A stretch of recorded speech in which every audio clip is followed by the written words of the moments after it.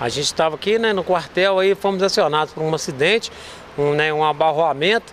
Aí ao chegarmos no local foi constatado que o, o motorista do Gol abarroou na traseira de um outro carro, vindo a sair para a esquerda, entendeu? E bater no morão da cerca.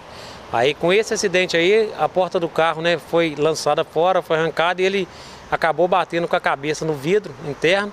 Aí foi socorrido, levado ao hospital para cuidado médico. Aparentemente, o que, que a vítima motorista sofreu? Ele teve né, trauma na, na, na, face, que ele teve né, corte por causa, em função do vidro ter quebrado, entendeu? E teve também escoriações no membro superior devido à pressão do cinto que ele sofreu na hora da batida, que é o impacto contra o morão, aí veio fazer com que o carro tivesse um amassamento muito forte e acabou sendo atingido dentro do carro.